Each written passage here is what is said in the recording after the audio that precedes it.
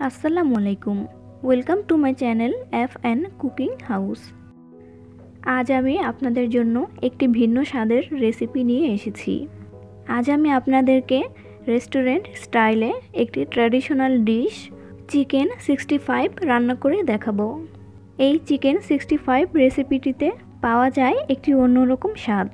আর খেতে তো ভীষণ মজার হয়ে থাকে। চলুন তাহলে দেখে নিই এটি কীভাবে রান্না করতে হয়। চিকেন সিক্সটি ফাইভ রান্না করার জন্য আমি এখানে আড়াইশো গ্রাম মুরগির মাংস নিয়েছি। মাংসটাকে ছোট ছোট টুকরা করে খুব ভালো মতো পানিটা ঝরিয়ে নিতে হবে। এখন এর মধ্যে দিয়ে দিচ্ছি হাফ চা চামচ মরিচের গুঁড়া। দিচ্ছি এক চা চামচ ধনিয়া গুঁড়া। হাফ চা চামচ গরম মশলা গুঁড়া। এক টেবিল চামচ রসুন বাটা, এক টেবিল চামচ আদা বাটা। দিচ্ছি এক টেবিল চামচ লেবুর রস। আপনারা চাইলে এখানে লেবুর রসের পরিবর্তে এক টেবিল চামচ টক দই ইউজ করতে পারেন। চালের গুঁড়া দিয়ে দিচ্ছি এক টেবিল চামচ। কর্নফ্লাওয়ার দিয়ে দিচ্ছি দুই টেবিল চামচ। এই কর্নফ্লাওয়ার এবং চালের গুঁড়াটা দেওয়ার কারণে চিকেনটা ক্রিস্পি হবে। দিচ্ছি পরিমাণ মতো লবণ। এখন একটি বাটিতে আমি একটি ডিম ভেঙে নিয়েছি। এই ডিমটাকে খুব ভালো মতো ফেটে এগুলির সাথে মিশিয়ে নিব।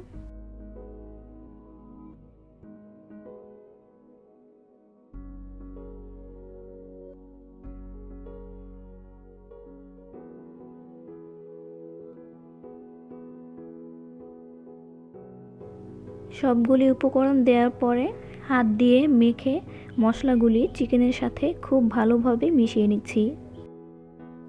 চেষ্টা করবেন এই কাজটা হাতের সাহায্যে করতে।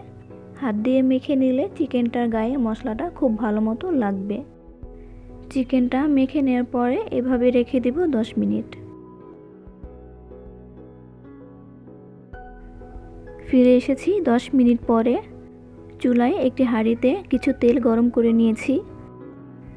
এখন মেরিনেট করা মাংস থেকে এক টুকরো করে আমি তেলের মধ্যে ছেড়ে দিচ্ছি। এ সময় চুলার আঁচটাকে মিডিয়াম করে রাখতে হবে। এই চিকেনগুলোকে মচমচে করে ভাজতে হবে আর সেজন্যই চুলাটাকে মিডিয়াম করে রাখতে হবে। হাই হিটে ভাজলে চিকেনগুলো মচমচে হওয়ার আগেই এর কালার চলে আসবে। চিকেন বা মুরগির মাংসগুলো কিছুক্ষণ ভেজে নেওয়ার পরে পারফেক্টভাবে মচমচে হয়ে গিয়েছে আর সুন্দর একটি কালারও চলে এসেছে। এখন আমি এগুলোকে নামিয়ে নিচ্ছি। একইভাবে আমি বাকি চিকেনগুলোকেও ভেজে নিয়েছি।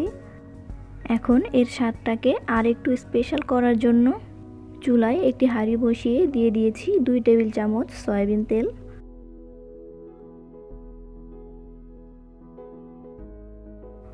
চুলাটাকে মিডিয়াম আঁচে রেখে দিয়ে দিচ্ছি হাফ চা চামচ আস্ত জিরা, শুকনা মরিচ তিনটি, রসুন কুচি হাফ চা চামচ আমি এখানে দুইটি কাঁচামরিচ ফালি করে নিয়েছি। আপনারা যদি কেউ একটু বেশি ঝাল খেতে পছন্দ করেন, তাহলে সেক্ষেত্রে কাঁচামরিচটা একটু বাড়িয়ে দিবেন। এগুলোকে হালকা ভেজে সামান্য একটু পানি দিয়ে দিয়ে দিচ্ছি এক চা চামচ সয়া সস। এই সময় সামান্য একটু পানি দেওয়ার কারণ হচ্ছে সয়া সসটা দেওয়ার পরে যাতে সসটা শুকিয়ে না যায়। আমি এখানে দুই টেবিল চামচ টমেটো সসের সাথে এক ফোঁটা লাল রঙের ফুড কালার মিশিয়ে নিয়েছি। রেস্টুরেন্টে এই চিকেন সিক্সটি ফাইভ রান্না করার সময় লাল ফুড কালারটা ইউজ করা হয়। এতে করে চিকেন সিক্সটি ফাইভের আসল কালারটা চলে আসে। আপনারা যদি কেউ ফুড কালারটা ইউজ করতে না চান, তাহলে এটা বাদ দিতে পারেন। এর মধ্যে সামান্য পানি দিয়ে এক মিনিটের মতো কষিয়ে নিচ্ছি।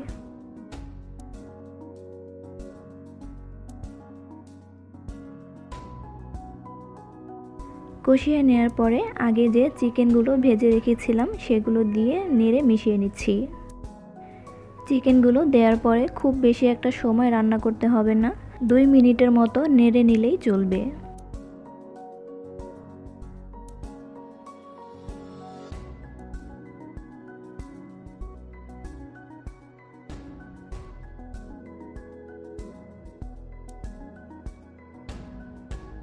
চিকেন সিক্সটি ফাইভ এখন সম্পূর্ণভাবে রেডি এগুলোকে এখন আমি একটি প্লেটে সার্ভ করে নিচ্ছি।